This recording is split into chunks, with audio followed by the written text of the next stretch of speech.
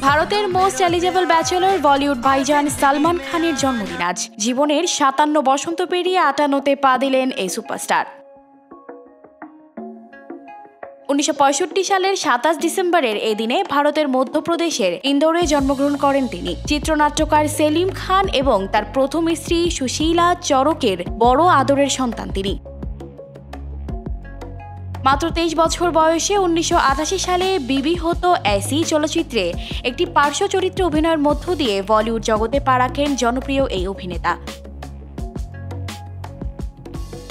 তবে নায়ক হিসেবে তার অভিনীত প্রথম চলচ্চিত্র ম্যানে প্যার কিয়া। সিনেমাতে অসাধারণ অভিনয় করে শ্রেষ্ঠ নবাগত অভিনেতা বিভাগে ফিল্মফেয়ার পুরস্কার জিতে নেন তিনি। বক্স অফিস কাঁপানো সে ছবির পর আর তাকে পেছন ফেরে তাকাতে হয়নি।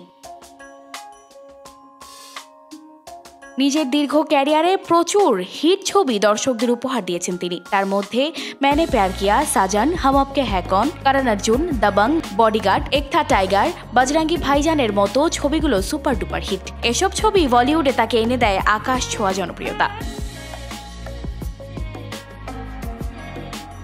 জন্মদিনের প্রথম প্রহরে মাঝরাতেই সালমান খানকে চমকে দিলেন শাহরুখ খান। জন্মদিনের শুভেচ্ছা জানাতে হাজির হলেন সালমান খানের বাড়িতে। প্রতিবারের মতো রাত থেকেই সালমানের মুম্বাইয়ের বাড়িতে পার্টি শুরু হয়। একে একে বলিউডের অনেক তারকা সালমানকে শুভেচ্ছা জানাতে উপস্থিত হন তার বাড়িতে।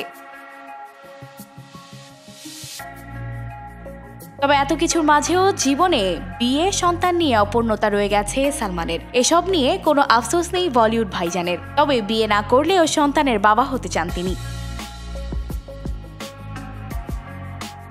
দু হাজার উনিশ সালে মুম্বাই মিররকে দেয়া এক সাক্ষাৎকারে বলেছিলেন, আমি সন্তান চাই, কিন্তু সন্তানের সঙ্গে তো মা আসবে। সেই মা চাই না আমি। আমার দরকার না হলে কি হবে? ওদের তো মা প্রয়োজন। তবে এই কথাও সত্যি, সন্তানদের প্রতিপালনের জন্য আমার কাছে আছে একটা আস্ত গ্রাম।